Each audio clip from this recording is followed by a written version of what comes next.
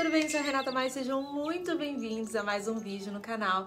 E hoje é, eu decidi correlacionar dois assuntos que vocês sempre me pedem, etiqueta e maternidade. Mais especificamente, a gente vai falar hoje sobre a maneira elegante de como maternar e como manter a elegância com os adoráveis perrengues da maternidade, que se você é mãe, você sabe o que eu tô falando. Eu achei super pertinente trazer esse assunto aqui pro canal, mesmo porque muitas de vocês me pedem, né?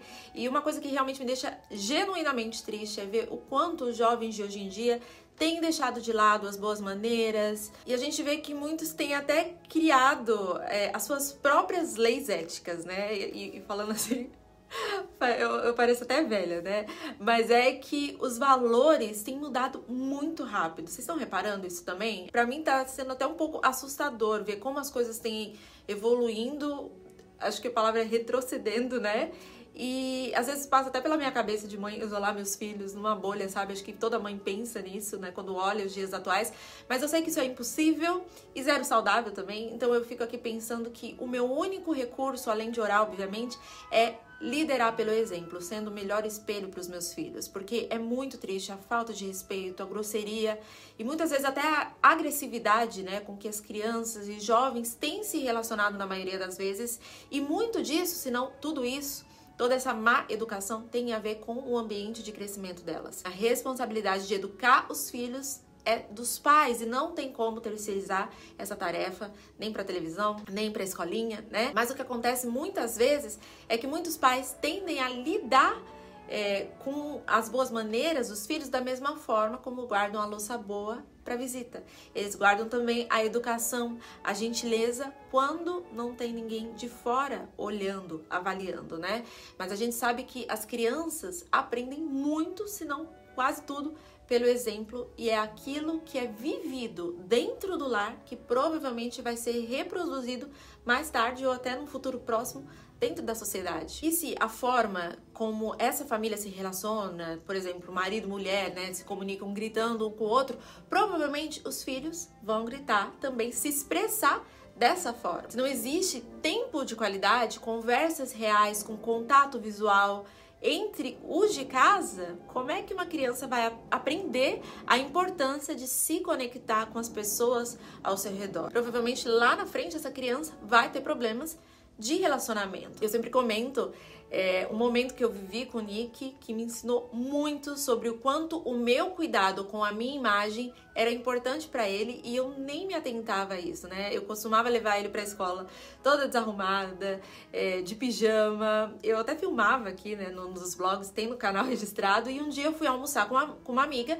e quando deu a hora, eu fui pegá-lo na escola e eu tava arrumada e ele ficou assim, surpreendido. Onde você vai? Tem algum evento especial acontecendo? Porque aquele não era o meu comum para ele. E eu, sem perceber, tava passando uma imagem para ele que eu só me arrumava e, e, me tratava com zelo, né? Tratava minha imagem com zelo apenas em momentos isolados e especiais, né? Então, a partir desse dia, eu vi como ter uma imagem alinhada era algo impactante para o meu filho e isso mudou muitos conceitos dentro de mim. Eu sou prova viva que é possível mudar, né? E uma grande motivação foi exatamente o meu filho. E nesse vídeo eu selecionei cinco pontos, cinco dicas extremamente necessárias para uma mãe mais elegante. Número um, contar histórias. A Bíblia já diz em Provérbios 22:6, ensina a criança no caminho em que ela deve andar e ainda quando for velha, não se desviará dele. E muitos cristãos interpretam esse versículo como levar a criança para a igreja, mas eu já penso que vai além. Ensinar o nosso filho, né, no caminho que ele deve andar, é ensinar os valores que estão nas escrituras dentro de casa. E ninguém melhor que você para ensinar a palavra de Deus, a Bíblia, ao seu filho. E as histórias são uma maneira muito envolvente, eficaz e divertida de ensinar virtudes e valores para as crianças. Valores como a honra, é, o respeito, né, a importância da paciência e até mesmo a perseverança e valentia, que a gente vê muitas histórias lindas na Bíblia, muitas vezes não aparecem ali né, nas situações do dia a dia, mas nas histórias sim. E lá você pode trazer à tona situações que vão exemplificar atitudes né, que você espera do seu filho, que espera de, de crianças com valores, de adultos com valores. Eu falo a Bíblia porque é o livro mais sábio, né? O livro mais completo e é um guia para o ser humano, né? Para um ser humano íntegro. Eu leio para o Nick, eu, o James, todas as noites. Isso aqui é regra desde que ele era neném, antes de dormir, todas as noites eu ou James lemos para ele e hoje ele é apaixonado pela leitura. Com certeza ele já leu mais livro que eu, ele tem apenas 10 anos, mas ele é apaixonado por leitura, mas esse momento é, entre nós dois de ler a palavra juntos é muito gostoso, porque em meio ao momento de leitura, o seu filho vai ouvir atentamente o, ensina o ensinamento que você deseja transmitir para ele, né? E um conto funciona muito, muito mais que um sermão, muitas vezes, ou uma bronca. Eu não tô falando que bronca não é necessário, às vezes é sim, eu não poupo aqui em casa, mas às vezes as crianças, elas simplesmente não ouvem, né? Mas uma história assim, tudo que você conta através de um conto está sendo absorvido e aprendido. E isso sem contar nesse momento, nessa conexão, né, que esse momento que uma leitura proporciona entre você e o seu filho. Às vezes o dia é super corrido e esse pode ser um momento de conexão entre vocês dois. E ainda falando em conexão, a gente entra para o segundo ponto, reunir a família mesa. O valor da família ao redor da mesa é imensurável, gente. Me chega a doer no coração quando eu vejo uma casa com crianças com, comendo, sei lá, esparramada pelo sofá, cada um comendo no horário, é, com a televisão ligada e ninguém conversa, os pais no celular. Isso é muito maléfico. E eu não estou exagerando. A mesa é de fato um lugar de muita comunhão entre a família, né? Um lugar onde você tem a oportunidade de servir as pessoas, um lugar, é, um momento em que a gente estreita laços, né? Um lugar de de praticar a gentileza, de você servir a sua família, de praticar a etiqueta e o mais importante, criar memórias e conexões importantes. Relacionamentos entre pais e filhos são muito mais fortes e melhores quando as famílias têm esse encontro diário, frequente à mesa todos os dias. E é importante lembrar que esse é um momento de, de se conectar mesmo com a sua família, de conhecer melhor os seus filhos, né? Também permitir que eles conheçam mais sobre nós, sobre o nosso serviço, nosso trabalho, o que a gente pensa, os nossos sonhos, né? Então, muito mais do que matar fome, não é um lugar de intriga, não é um momento legal para se dar bronca também, é um lugar de conforto, confraternização e a proximidade. Inclusive, as regras de etiqueta, mesmo em casa, também devem ser respeitadas diariamente. Então é essencial você ensinar aos seus filhos que etiqueta não é frescura, não é algo para ser usado é, em momentos isolados, e sim um sinal de respeito e um hábito, né? E isso desde as coisas mais simples, como lavar a mão antes de sentar à mesa, não colocar cotovelo sobre a mesa, né? Não, não ficar relaxado, né?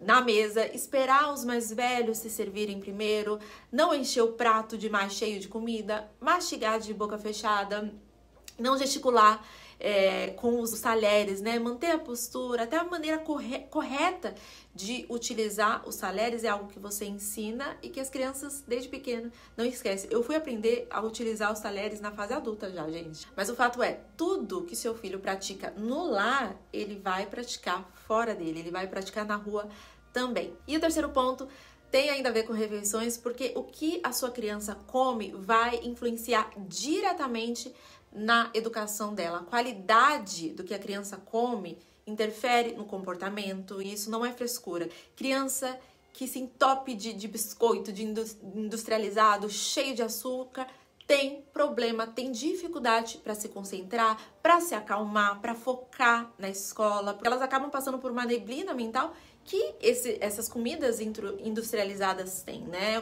É como se fosse uma confusão mental mesmo, sem falar no sugar high, depois de, de um consumo exagerado de açúcar. Pode reparar, se seu filho não come muito açúcar, quando ele vai numa festinha, né? Ou ele come, enfim, é, açúcar um pouco a mais do que o normal, pode reparar, parece que usou droga. A criança fica super hiperativa, é visível. E se você não tem uma, uma consciência com relação à sua alimentação, consequentemente vai ser muito difícil para passar isso, esses valores para os seus filhos, né? A gente tem é, esse hábito de, de se mimar com comfort food e a gente faz isso com os nossos filhos também, muitas vezes sem perceber. Ah, se você for bem, ou se você se comportar, eu te dou um sorvete, te dou uma bala na volta, né? Mas a gente, como mãe, tem que se atentar que a elegância, ela tá na praticidade.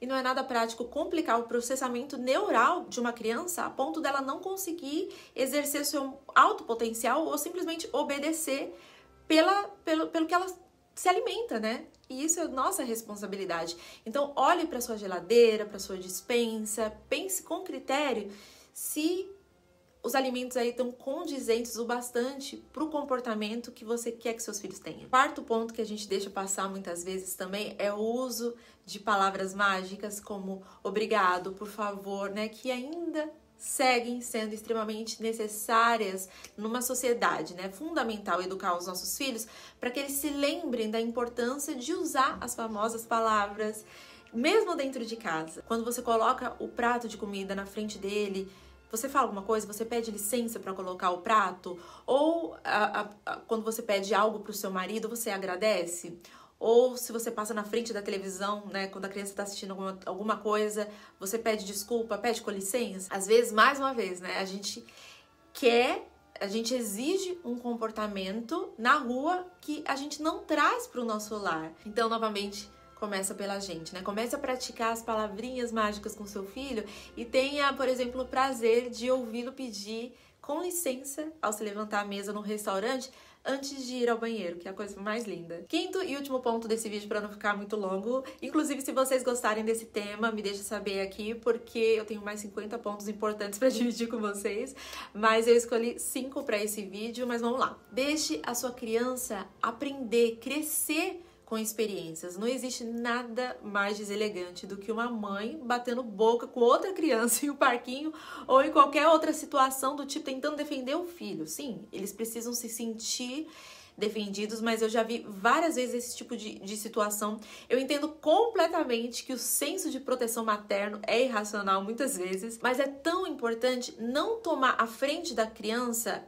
é, em algumas batalhas, principalmente quando é com outra criança. Obviamente, não estou falando de agressão física ou, ou, ou, até verbal, né? É claro que é sim necessário passar segurança, se fazer presente, dar suporte para o seu filho para saber que você está sempre lá por ele, Porém, responder para os seus filhos é evitar que eles aprendam a se defender. Então, se você é essa mãe que discute com outra criança porque é, ela pegou a frente do seu filho no parquinho, né? Esse tipo de situação, segura um pouco, observe. Existem grandes chances de você se surpreender com a atitude da sua criança e ficar muito orgulhosa depois. E o mais importante, uma mãe transformada, curada, cheia de amor próprio e elegância, proporciona um espelho saudável, seguro, né, para o crescimento de uma criança e, e a felicidade também, né, de uma família inteira. Uma mulher feliz, ela, ela irradia isso, ela transborda isso para o seu lar. Um dos meus objetivos principais com o Chique é exatamente esse, de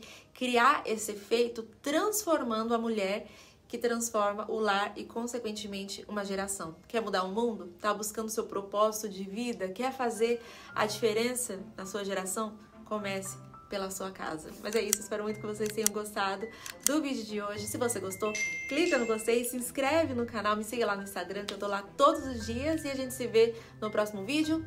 Um beijo, tchau!